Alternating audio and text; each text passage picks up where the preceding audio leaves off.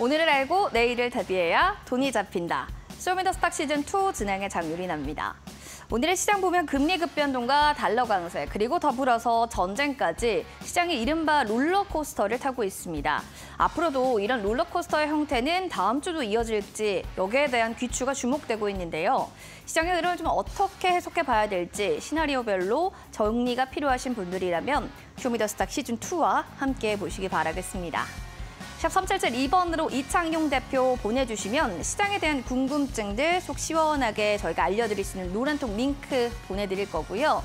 종목 상담도 잠시 뒤에 저희가 해드릴 예정입니다. QR코드 타고 들어오셔서 종목명, 매수가 비중, 그리고 플러스로 궁금한 사항들 상세히 적어주시면 되겠습니다. 참여 코드 번호 1733 누르고 들어오시기 바랍니다. 자, 그렇다면 본격적으로 오늘의 출연자 먼저 화면 통해서 만나보시죠.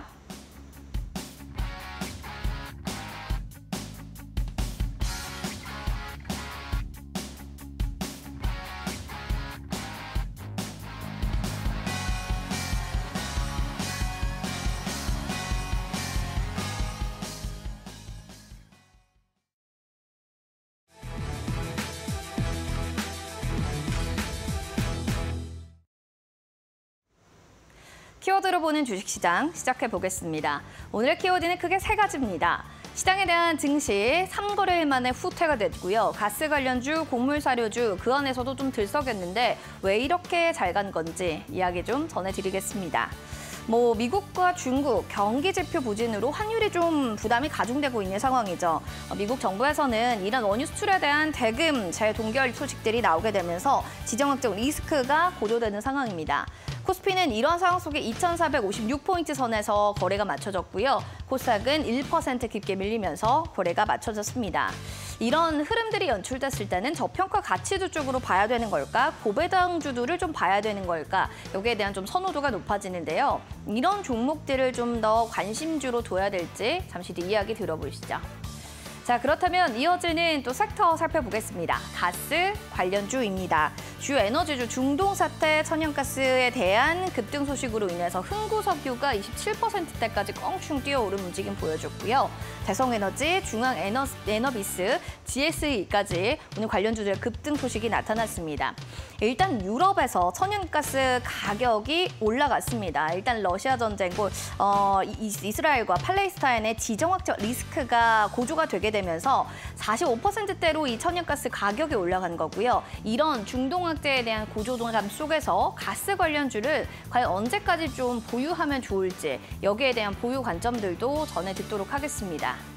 그럼 이어지는 곡물 사료 관련주도 살펴보겠습니다. 우크라이나 남부 항구 곡물 저장 시설이 급습 받게 되면서 관련주들 앞으로 일단 식량 위기에 대한 고조감이 더 커지는 거 아닐까라는 우려감에 미래생명 다운 20%까지 급등했고요. 고려산업 12%, 한일사료도 8%로 관련주들의 급등세가 연출됐습니다. 단기적인 모멘텀으로 좀 봐야 되는 건지 아니면 앞으로도 이런 지정학적 리스크가 계속 이어진다면 곡물 사료주가 조금 더 눈여겨봐도 좋은 섹터인 것인지 여기에 대한 이야기들도 잠시 뒤 전문가와 함께 이야기 전해 들어보시죠. 시간의 특징 주 점검을 해보겠습니다. 어, 러시아, 우크라이나, 이스라엘, 팔레스타인 지정학적 리스크가 고조가 되게 되면서 가스전 개발 투자 사실이 부각되고 있는 뭐 휴로컴, 휴로홀딩스, 지엔코, 한국석유, 대성에너지 등 관련한 이 지정학적 리스크로 묶일 수 있는 테마군들이 모두 다 오르면서 거래를 마쳤습니다. 다음 주 월요일 정규장에서 이 종목들의 시세 분출이 기대되는데요. 특히나 휴로컴과 휴로홀딩스 움직임들 면밀하게 살펴보시기 바랍니다. 자, 이렇게 해서 시장에 대한 브리핑 전해드렸고요. 전문가님 모시고 시장 분석 들어갑니다.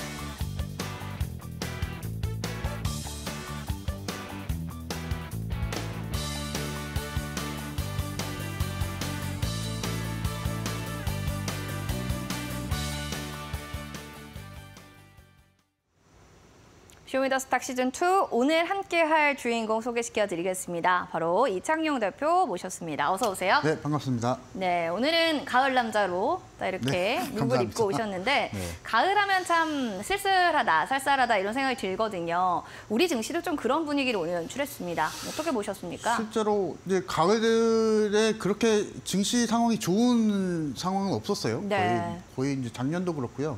재작년도 그렇고 거의 이제 7% 5% 상승하더라도 2% 3%뭐 다른 달만 놓고 봤을 때 다른 분기랑 놓고 봤을 때 워낙 9월달 시장, 10월달 시장 좀 어려운 시장은 맞습니다. 그럼에도 불구하고 이런 상황에서도 수익 낼 수 있는 전략 말씀을 드리도록 하겠습니다. 음, 알겠습니다. 뭐 시장이 좀 힘들었다 이렇게 또한 줄평 얘기를 해주셨는데 그러면 오늘의 이슈 기사를 좀 들고 오셨을 것 같아요. 오늘 화면으로 좀 보게 되면은 기사가 이런 걸 들고 오셨네요. 인공지능에 대해 증시가 살렸다. 어, ETF에 관련한 메모리 반도체 쪽 출격이 됐다는 건데 워낙 여기에 대해서는 많은 분들이 아 반도체 빠졌을 때 ETF 가야 된다라고 얘기하시는 분들이 많았었거든요. 그쵸, 네. 어 근데 지금 이걸 들고 오신 이유는 어떤 측면에서 저희가 좀 보면 좋을까요? 실제로 이제 이번 달 제가 지난 방송에서도 말씀드렸을 때 이제 반도체 쪽을 강조를 좀 해드렸었는데요. 그쵸. 그 원인으로 따져보게 되면 우리가 산업에 대한 특성을 좀 볼 수가 있습니다. 실제로 어, 반도체 그리고 조선 쪽, 엔터 쪽 여러 가지 업종들이 좀 많은데요. 근데 반도체가 가지고 있는 특징은 바로 이 산업에 대한 범용성, 이제 쉽게 말해서 확장성이라고 할 수가 있습니다. 사- 사실 뭐 다른 엔터 업종들, 자동차 업종들, 뭐 2차 전지 업종들, 뭐 다른 여러 가지 업종들이 좀 많겠지만은 반도체가 가지고 이- 있는 이 범용성 이게 사실 이제 AI에도 붙일 수가 있고요. 그리고 로봇에도 붙일 수가 있고 실제로 자동차에도 또 붙일 수가 있고 이 반도체가 가지고 있는 이 확장성이 엄청나기 때문에 최근에 이러한 어, 수급 흐름에 맞춰서 또 삼성전자가 또 이슈를 또 받았었고요. 그래서 이 부분에 있어서 반도체에 대한 전체적인 수급이 좀 따라오고 있는 상황인 것 같습니다. 그래서 우리가 투자자 입장에서 봤을 때는요. 어, 결국에는 이제 주가가 올라가야 수익이겠죠. 그래서 이제 어, 현재까지만 놓고 봤을 때 어, 이 거래일 동안 어, 오늘 빼고 이 거래일 동안 사실 기술적인 증시 반등이 좀 이루어졌는데요. 근데 그것에 대한 중심이 있었던 게 이제 반도체 업종이 좀 되었었고 이 부분에 맞춰서 한번 좀 말씀을 드려보려고 하는데요. 일단은 어, 제목을 좀 보시면요, 어, 고대역폭 메모리 반도체 집중 첫 ETF가 출격한다고 합니다. 그래서 한투에서 이제 어, 이 ETF 상품을 어, 출시를 하게 됐는데요.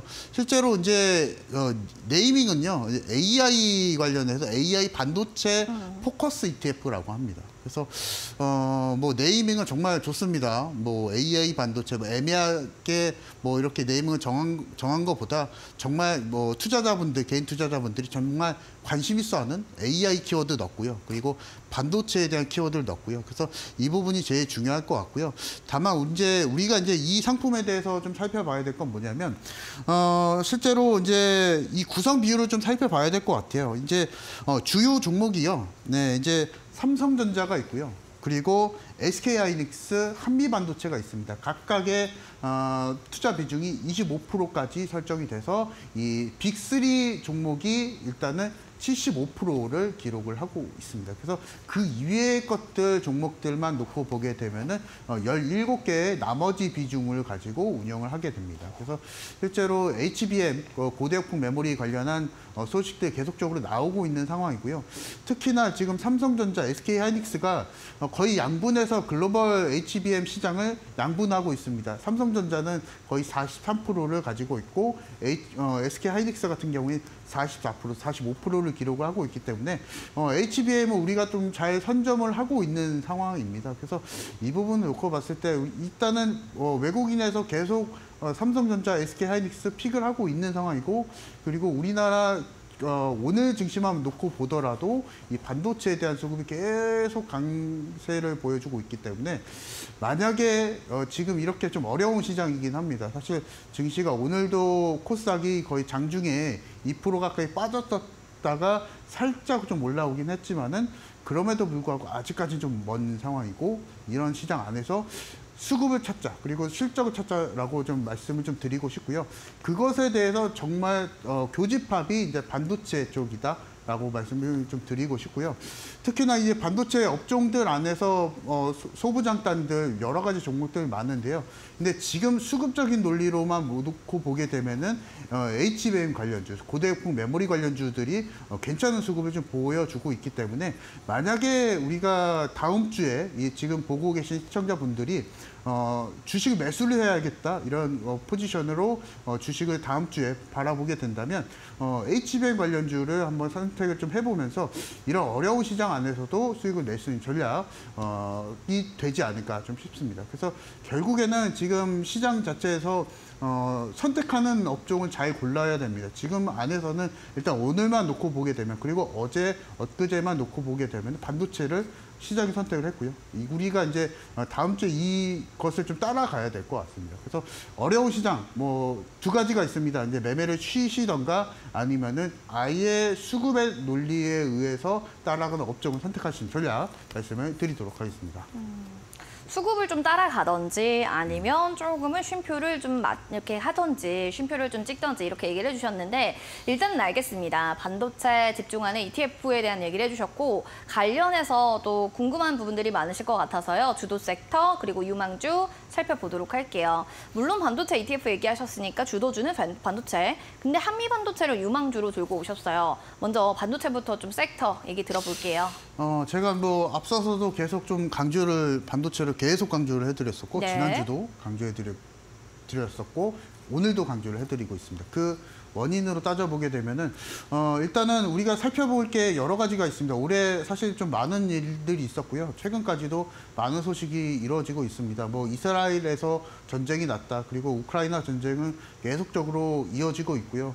그 와중에 이제 파생되는 테마주들, 뭐 정유 테마주들, 그리고 고- 어, 사료 가격이 올라가면서 또 사료 테마주들 여러 가지 테마주들이 많이 지금 혼재되어 있는 상태인데요. 어, 다만 이제 우리가 이것을 생각을 해봐야 됩니다. 장기적인 투자 레이스, 사실 이제 주식 투자가 어려운 투자 상품입니다. 뭐 매수 매도 거래하는 데 있어서는 사실 너무나 쉬운 상품인데요. 수익을 꾸준하게 내기 위해서는 사실 좀 어려운 투자 상품이긴 합니다. 그만큼 주가 변동성이 높기 때문에. 근데 우리가 이런 장기 레이스에서 사실 뿌리를 잃지는 말아야 됩니다. 어, 실적이 나오는 업종, 실적이 나오는 종목을 좀 픽해야 되고요. 그 안에서 지금 상황에서 우리가 지금 11월 중순이 돼가는 이제 시점 안에서 놓고 보게 되면은 반도체가 지금 업황이 좀 개선되고 있는 상황이거든요. 어, 삼성전자가 지금 영업이익이 2분기 대비 어, 2분기 대비 3분기 실적이 지금 거의 한 세 배 가까이 늘었고요. 거의 이, 영업이익이 2조를 기록을 했습니다. 특히나 어, 영업이익이 1분기, 2분기 이, 어, 6천억 원을 기록했는데 3분기에 1조 9천억 원을 기록을 했으니까 거의 이제 개선세가 좀 뚜렷하게 좀 보이고 있는 상황이거든요. 그리고 증권가에서도 사실 이 감산에 대한 이슈를 계속 checking을 좀 하고 있는 상황인데 그것에 대한 본격적인 어, 회복 레이스가 4분기서부터 진행이 된다고 합니다. 그래서 우리가 주식을 할 때 실적이 좋은 종목을 또는 실적이 어, 개선될 종목을 선택을 하게 된다면 이 부분 안에서 놓고 봤을 때 교집합인 반도체 업종 우리가 선택하자 말씀을 드리도록 하겠습니다. 음, 알겠습니다. 이렇게 시장이 어수선해도 반도체에 대한 수급은 계속해서 좋아지고 있고 유망주로는 한미 반도체를 들고 오셨는데 워낙 또 잘 갔던 그쵸. 종목이었는데 네, 네. 유망주라는 표현이 맞을까요? 사실 이제 유망주 이제 한미 반도체 같은 경우에는 차트를 이제 여러분들이 한번 좀 보시게 되시면은 어 사실 이제 신고가 영역이긴 합니다. 근데 어, 시- 어 valuation이 거의 이제 5조가 넘는 종목이고요. 근데 유망주라고 하게 되면은 뭐 바닥에서 올라가는 종목도 있겠지만은 실제로 시장 주도하는 종목이 어 그것에 좀 영향을 좀 받을 수가 있겠고요. 그리고 제가 이제 올해 초 2월 달에 에코프로를 말씀드릴 때도 딱 이 상황이었거든요. value 자체가 거의 10, 조 정도 됐다가 그 이후에는 50조까지 넘어가면서 시장 주도주를 찾게 된다면 지금 상황에 있어서 어, 시장이 선택하는 업종 어, 종목을 선택하자 말씀 좀 드리겠고 어, 두 가지 관점에서 이제 사실 판- 어, 한미 반도체를 바라볼 수가 있습니다. 어, 사실 기존의 주가가 2만 원대 선을 유지를 해주다가 현재는 5만 7천 원대를 유지를 해주고 있죠. 그래서 지금 놓고 보게 되면 어, 너무 많이 오른 거 아닌가 이렇게 선택을 좀 선- 생각을 해보실 수가 있는데요. 어, 역으로 또 생각을 좀 해보면요. 이 기간 동안 시장이 잘 선택을 해줬거나 예, 그것을 또 생각을 좀 해볼 수가 있습니다. 그래서 이러한 논리로 봤을 때 한미반도체가 가지고 있는 메리트 사실 어, 너무나 많습니다. 한미반도체가 실제로 지금 어, SK 하이닉스향 어, HBM 어, 장비단 안에서 어, 1위를 기록을 하고 있는 업체이기도 하고요. 그리고 영업이익률이 매년 꾸준하게 20% 이상을 기록을 하고 있습니다. 그래서 실적 면에서도 봤을 때 그리고 올해 어, 현재 주가로만 보게 되더라도 시장에서 잘 선택을 하는 종목이다 이렇게 좀 보시면 되실 것 같고 어, 재무적인 상황 한 번 더 체킹을 좀 해보도록 하겠습니다. 어, 지금 매- 매출이 꾸준하게 상승하고 있는 거 한- 보이실 겁니다. 그래서 2020년도에는 2,500원 정, 500억 정도를 기록했다가 22년도에 3,200억을 기록했고 어, 그 중간에 영업이익률을 보시면요. 계속적으로 25%를 기록했다가 34%까지 기록을 하면서 수익성도 빠르게 개선이 되고 있던 어, 성장을 하고 있던 상황이고요. 그 부분 안에서 또 놓고 보게 되면 은 부채 비율도 많이 감소를 하게 됐고요. 그리고 특히나 올해 6, 어, 6월달 2분기 부채 비율을 놓고 보게 되더라도 어, 14%를 기록을 했기 때문에 어, 현금이 많은 상황이고요. 그리고 매출도 꾸준하게 상승을 보여주고 있고 수익성도 이미 확보돼 있는 상황이다라고 좀 놓고 보게 되더라도 이 한미 한미 반도체 재무적인 상황을 놓고 봤을 때 뭐 하나 뭐 문제될 요소는 없다라고 좀 말씀을 좀 드리고 싶고요. 특히나 이제 이것을 생각을 해보셔야 됩니다. 아, 삼, 어, 삼성전자와 SK하이닉스가 재고 자산에 대한 어, 감소 효과 이 부분이 본격적으로 진행이 된다면 이 삼성전자 SK 밸류체인에 있는 종목들이 얼마만큼 또 매출이 또 견인이 되겠는가 이것을 놓고 봤을 때도 한미반도체가 유망주로서 그 역할을 어, 당장은 못하더라도 꾸준하게 어, 주가 상승을 좀 보여줄 수 있지 않나 이 부분을 말씀을 드리도록 하겠습니다. 음, 알겠습니다. 그래서 한미 반도체는 유망주다라고 얘기를 해주신 거고요. 여기 대해서 더불어서 좀 궁금하신 부분들 있으시면 언제든지 문의사항 주시기 바랍니다. 샵 3772번으로 지금 이창경 대표 보내주시면 되고요. QR코드 타고 들어오셔서 궁금증들 남겨주셔도 되겠습니다. 아, 온라인 무료 방송 또 오늘 밤 9시 준비하고 계신데요. 주제가 좀 어떻게 될까요? 어, 사실 이제 올해 제일 까다로운 달인 것 같아요. 뭐 그렇죠. 다른 달도 있었겠지만은 9월달, 10월달이 제일 좀 까다로운 상황 이었는데요. 그 중 안에서서 옥석 테마인 어, 반도체가 또 튀어나왔습니다. 그래서 이 부분에 대해서 제가 좀 전략적인 부분 좀 말씀을 좀 드리려고 하고 그리고 제가 오늘 이제 TV 방송에서 종목 하나 말씀드리고 어, 무료 방송 오시는 분들을 위해서 종목 하나 더 준비를 했습니다. 그래서 종목 한 번 더 받고 싶으신 분들은 오늘 오- 방송 오셔가지고 전략적인 부분 받으시고 종목에 대한 이해 한 번 더 이해하시면서 10월달 어떻게 또 헤쳐 나가야 되는지 이 부분 궁금하신 분들 방송 오셔서 많은 정보 받아가시기 바랍니다. 반도체 유망주를 하나 아니고 하나 더 그래서 원 플러스 원으로 알 수 있는 기회인데요. 포털 검색창에 슈팅스탁 검색하시고 들어오셔서 밤 9시에 온라인 무료 방송 들어보시면 되겠습니다. 그리고 이제 홈런 임박주 궁금하신 분들 계실 것 같은데 홈런을 칠 수 있는 종목 오늘의 힌트 첫 번째가 좀 궁금한데 어떤 종목일까요? 일단 첫 번째 힌트는요. 어, 제가 이제 반도체 종목을 계속 강조를 또 해드렸기 때문에 반도체 종목이고요. 그래서 실제로 이 어, 종목을 말씀드릴 때 실제로 뭐 제가 HBM 고대역폭 메모리를 좀 강조를 어, 방금 해드렸습니다. 그래서 HBM 관련주이기도 하고요. 그리고 제가 이제 자막에서 좀 나오고 있는데 어, 화려한 레이저 테크닉이라고 해서 어, 반도체 레이저 식각 장비를 제조를 하고 있는 기업입니다. 그래서 이 부분에 대해서 조금 더 궁금하신 분들은 오늘 무료 공개 방송에서 받아보시기 바랍니다. 네, 위성에서 펼쳐지는 화려한 레이저 테크닉 그 종목을 알고 싶으신 분들, 알고 있다 하시는 분들도 QR코드 타고 들어오셔서 종목명 맞춰주시기 바랍니다. 맞추시는 분들 저희가 커피 교환권 선물로 보내드릴게요. 그럼 저희 잠시 뒤에 종목 상담으로 넘어가도록 하겠습니다.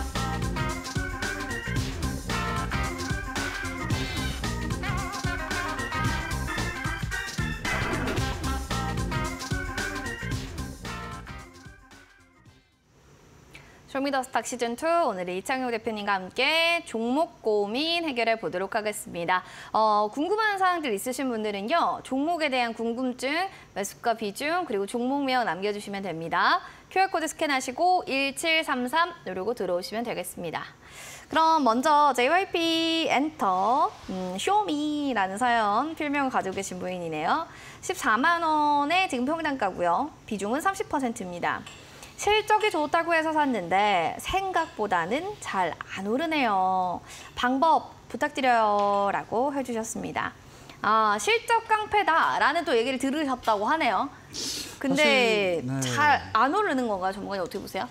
사실 이제 14만 원대라고 하시면 이제 6월 달에 매수하시고 7월 달에 매수하시고 그 정도에 매수하신 것 같은데요. JYP가 가지고 있는 특징 사실은 여러 가지 장점이 있기야 있습니다. 사실 하이브 동종 업종 안에서 하이브도 있고요.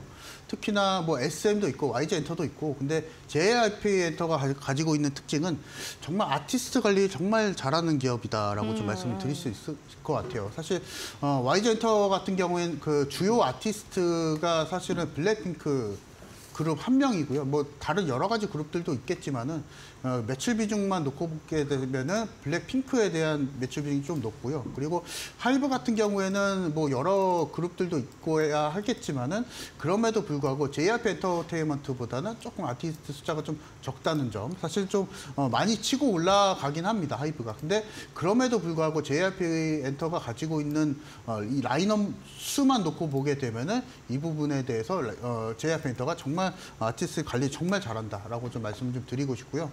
특히나 이제 우리가 엔터 업종들을 놓고 보게 되면은요.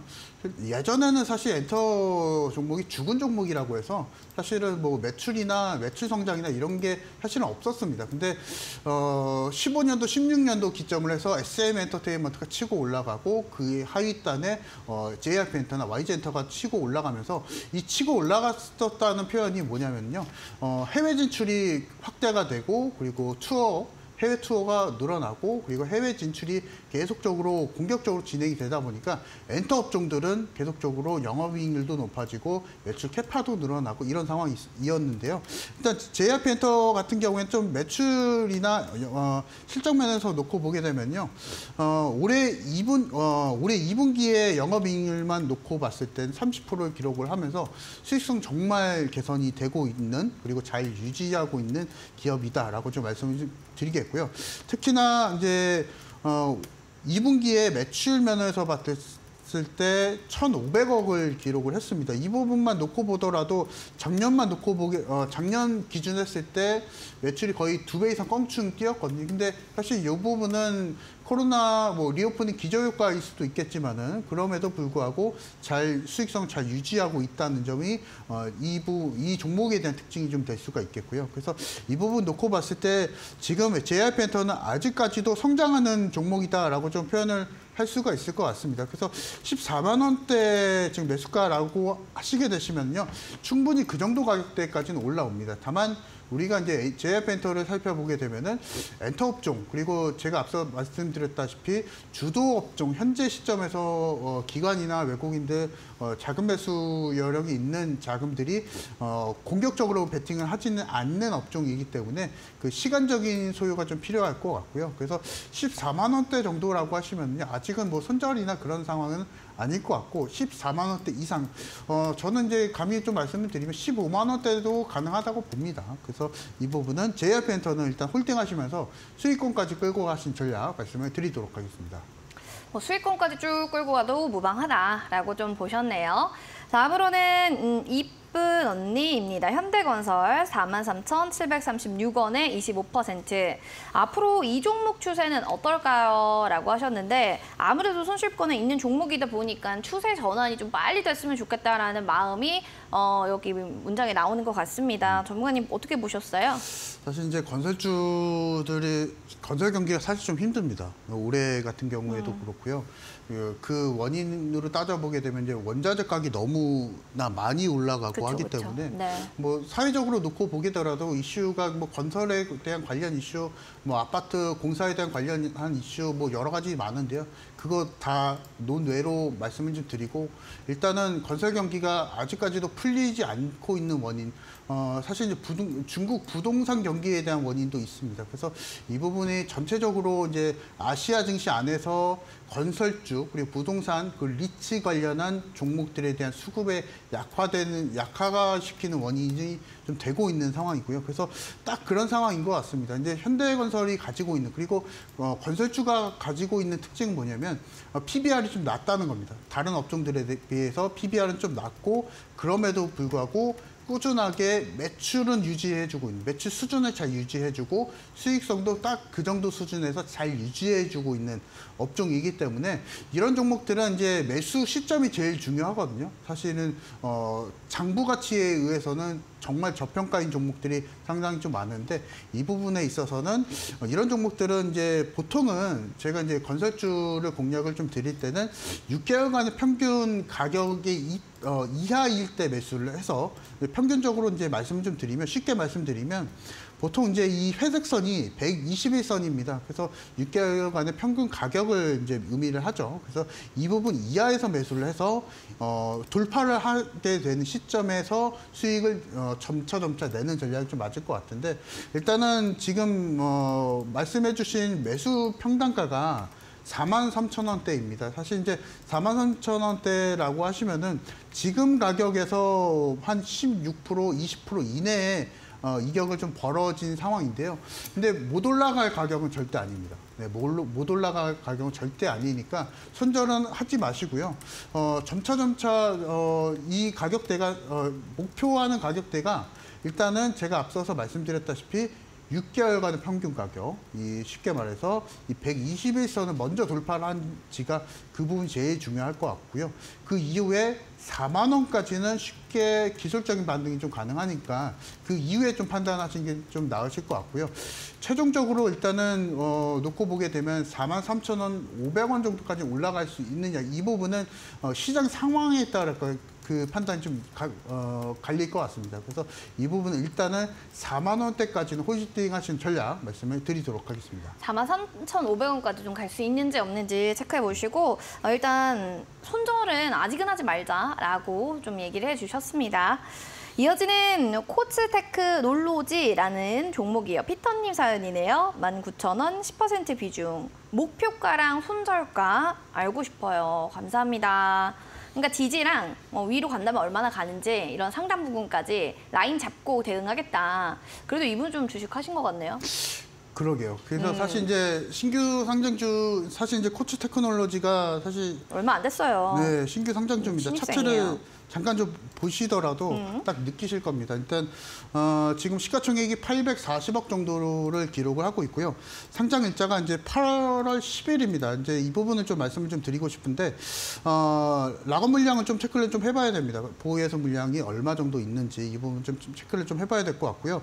어, 일단 상장 당시만 하더라도 유통 가능 주식사 안에서 그렇게 많은 물량이 나오진 않았습니다. 170만 주 가량이 어, 거래가 가능한 수량이 나왔고요. 근데 이 부분이 아직 뭐 100% 매도를 했다 이렇게 또 평가를 하기는 어렵습니다. 그래서 다만 놓고 보게 되면은 어, 기존에 이제 보호예수 기간이 이제 1개월짜리 3개월짜리 물량이 있었습니다. 그래서 이 물량이 언제쯤 다 소화가 될지가 사실 좀 문제인데요. 뭐 주간사에서도 일단 보호예수 어, 기간이 3개월짜리 잡힌 게 있으니까 다음 달 놓고 보게 되면 또 주간사에서도 또 어, 물량 또 나올 수가 있겠고 그래서 아직까지는 이 물량 자체가 소화는 아직 어, 오버행 이슈가 아직은 끝나지 않은 상황이기 때문에 이 부분에 있어서 어, 시세에 대한 어, 하락에 대한 시세 대응은 좀 필요할 것 같고요. 지금 매수 단가가 19,000원이라고 하시면요. 어, 빠른 대응이 좀 필요할 것 같습니다. 그래서 기술적으로 살짝 올라올 때 18,500원 정도까지라도 올라오게 되면은 조금 비중을 대부분 줄이시는 전략 좀 말씀을 드리면서 그 이유는 오버행 이슈가 아직 끝나지 않았기 때문에 충분히 매물 소화가 끝난 다음에 재공략하신 전략 말씀을 드리도록 하겠습니다. 음, 알겠습니다. 물량 소요 좀 끝내고 그때 가자라고 보셨고 그리마님의 사연은 알맥 되겠습니다. 어, 14만 9,500원 비중 40% 마이너스 아이고 62%예요.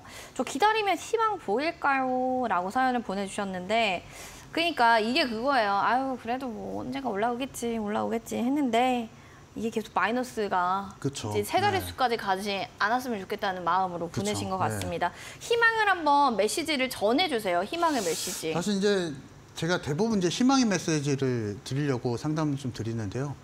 알맥이나 이제 제가 앞서서 코츠와 같은 종목들 신규 상장주들은 사실 좀 까다롭긴 합니다. 음. 왜냐하면 우리가 뭐 신규 상장주들의 특징이 뭐냐면요. 네. 실제로 어 저항 그리고 지지에 대한 라인이 거의 불분, 불분명한 상황이 거의 대부분이기 때문에 어, 그 원인으로 따져보게 되면 구주 물량도 있고 신주 물량도 있고 이런 종목에 대한 이슈 그리고 오버행에 대한 이슈가 많기 때문에 그런 특징이 좀 있습니다. 그래서 일단은 그 특징만 좀 알고 계시면 좋을 것 같고 알맥도 마찬가지로 좀 어, 보호예수 물량 좀 살펴보도록 하겠습니다.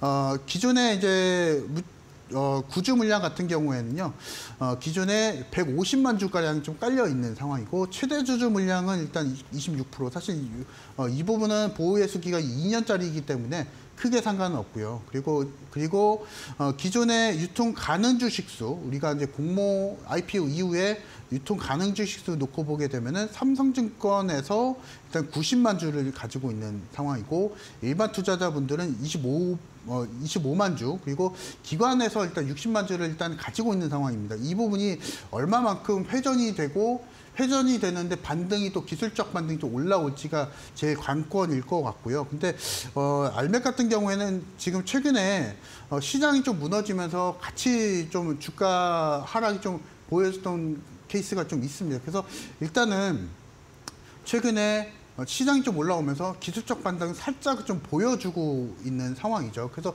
어, 매수 단가가 좀 제일 중요할 것 같은데요. 근데 지금 15만 원대 근처라고 하시면은 이제 이격이 상당히 좀 벌어져 있는 상황이긴 합니다. 그래서 상당히 이 부분에 있어서 고민이 좀 많으실 것 같은데요.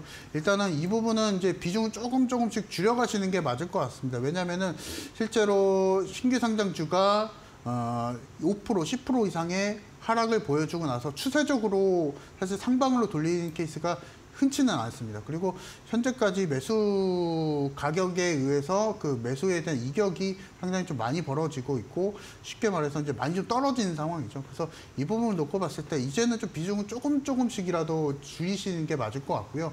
근데 이 부분은 어, 다른 종목으로 수익을 내면서 그 종목에 대한 비중을 동일하게 대체하시면서 매도하신 전략을 좀 말씀을 좀 드리겠고요.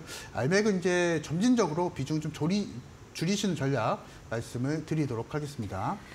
네, 알맥에 대한 이야기까지 전해 들어봤습니다. 여러분들 또 궁금증 언제든지 있으시면 샵 3772번으로 이창용 대표 보내주시고요. QR코드 스캔해서 1733 누르고 들어오시면 되겠습니다. 자, 그럼 전문가님의 먼저 수익률 화면 통해서 만나보겠습니다.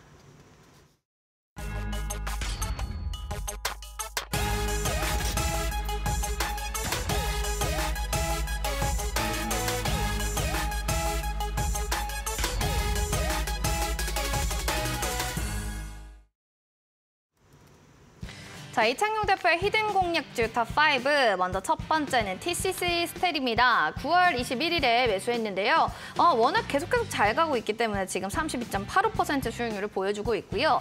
SBB테크 노루홀딩스 9월 달에 또 매수했던 종목인데 15%, 11%대의 수익률을 보여주고 있습니다.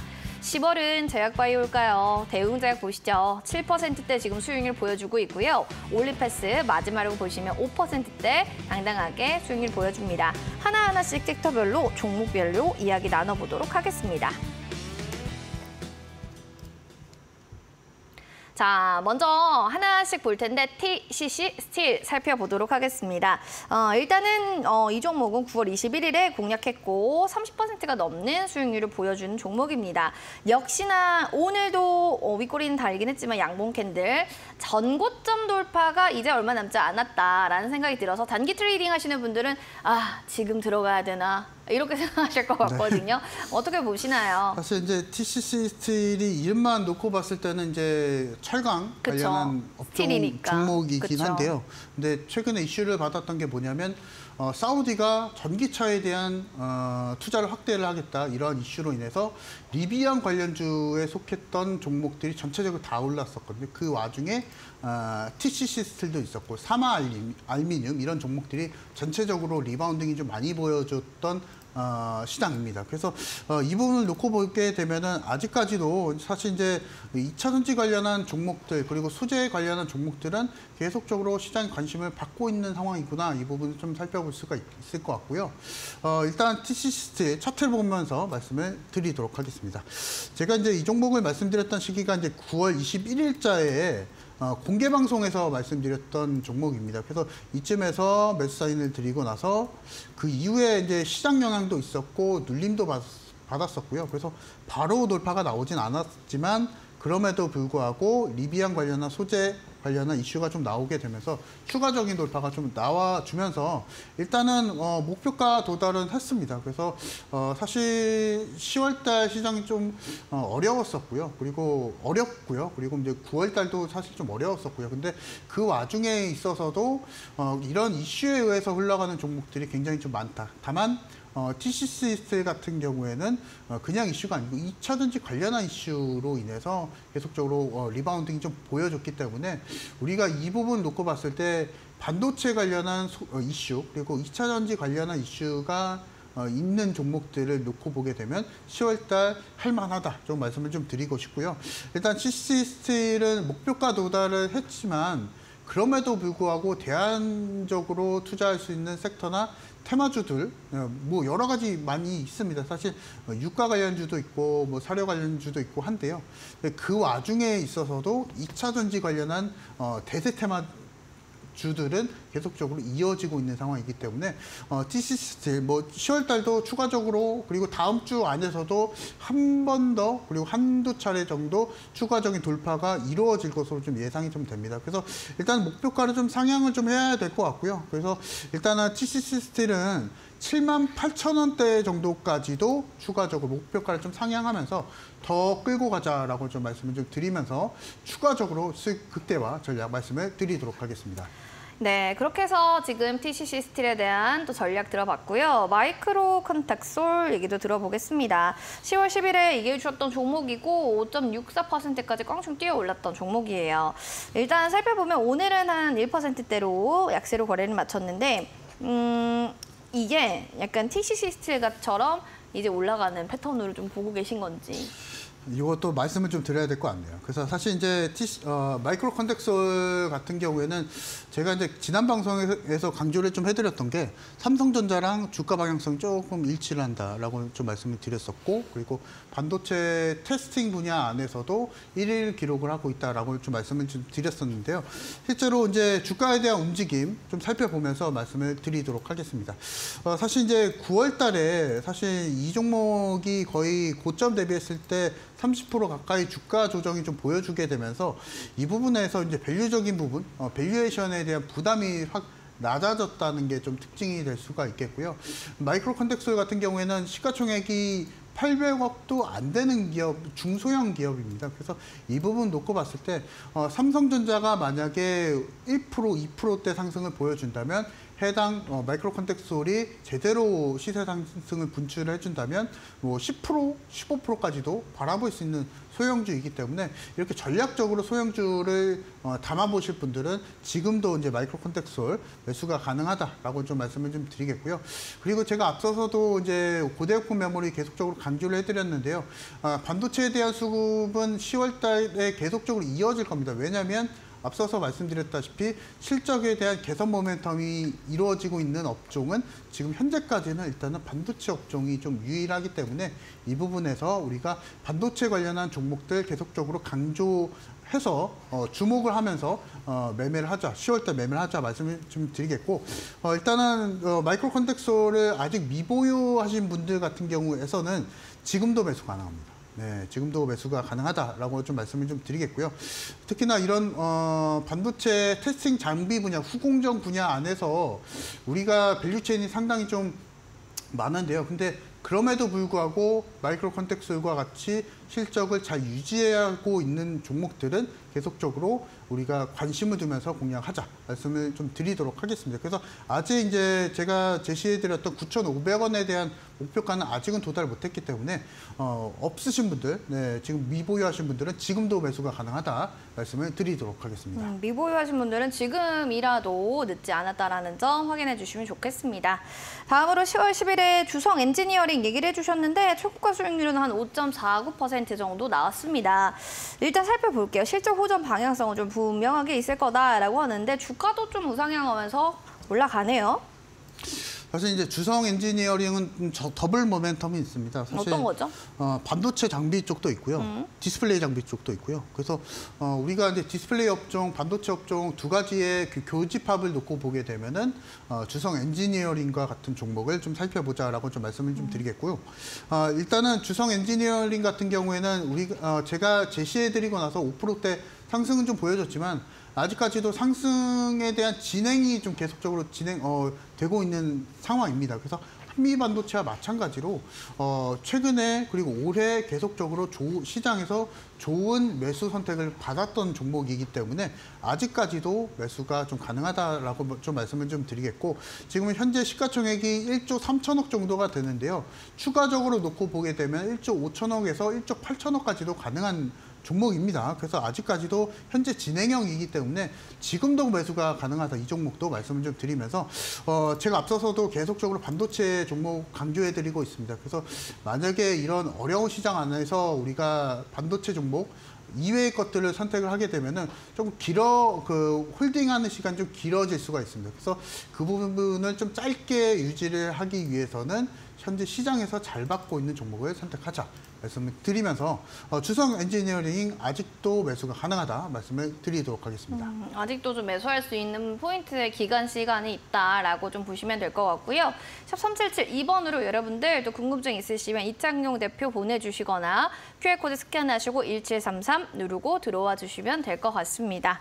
자, 그럼 더불어서 또 전문가님의 또 hidden 임박주, 홈런 임박주 도 궁금하실 것 같은데요. 어, 첫 번째로 일단 그거였어요. 위성에서 펼쳐진 화려한 레 이저 테크닉이요. 두 번째 힌트 그럼 들어보겠습니다.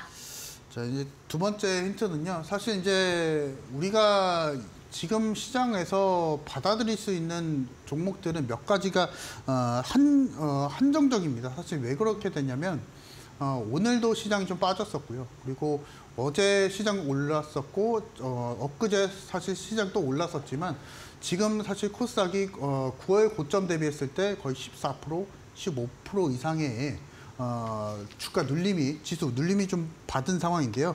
일단 오늘 종목 같은 경우에는요.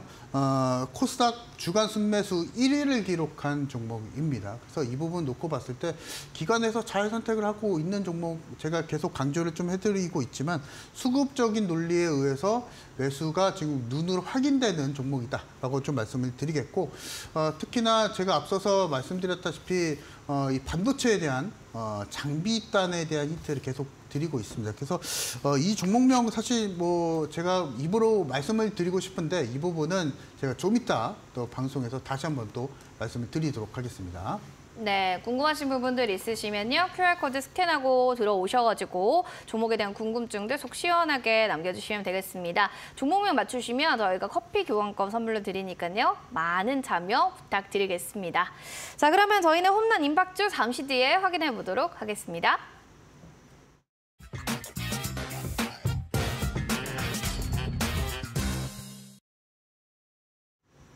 내일장 히든 공략주 첫 번째 힌트 먼저 볼게요. 2호 위성에서 펼쳐지는 화이리아 화려한 레이저 테크닉이다. 두 번째 힌트는 좀 뭐였죠? 보시다시피 두 번째로는 코스닥 주간 순매수 1위에 좀 빛나는 종목이다라고 하셨고요. 세 번째 힌트까지 좀 들어보면 아, 홈런 임박주에 대해서 정확하게 알 수 있을 것 같습니다.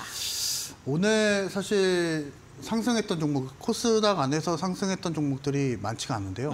그럼에도 어, 시장이 눌림에도 불구하고 어, 시장 상승, 시장 하락에 대비했을 때 큰 폭의 상승을 보여줬던 종목 중에 잘 골라주시면 되실 듯 합니다. 그래서 어, 사실 좀 쉽지 않은 시장입니다. 뭐 시장이 뭐 내 맘과 다르게 뭐 매수하게 되면 떨어지고 매도하게 되면은 올라가고 이런 사실 좀 어려운 시장인데요. 그럼에도 불구하고 잘 올라가는 종목이다라고 보시면 되실 듯 합니다. 지금 이제 차트가 나오고 있으니까요. 아, 이 종목 뭐 오늘 보신 분들은 잘 기억이 나실 것 같아요. 그래서 일단 이 종목 잘 판단해 보시면 되실 듯 합니다. 음, 알겠습니다. 잘 판단해 보시기 바라겠고 어, 노란 쪽 저희 볼게요.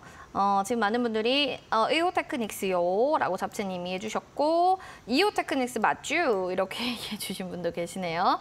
성윤경님께서도 이오테크닉스라고 얘기해 주셨는데 한번 좀 들어보도록 하겠습니다. 전망이 이제 맞는지 안 맞는지 얘기를 좀 해주셔야 될 시간입니다.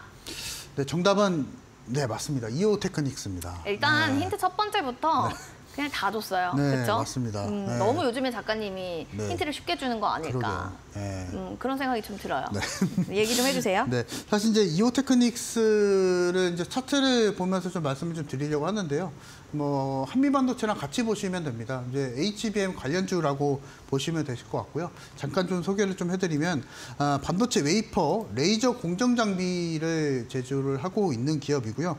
최근에 기관에서 강하게 매수세가 들어오고 있는 상황입니다. 지금 오늘만 놓고 보더라도요.